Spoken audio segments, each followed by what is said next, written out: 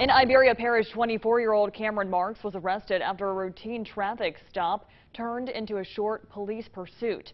According to officials, Marks was being pulled over for traffic violations, but authorities found a handgun and drugs, including 104 grams of marijuana.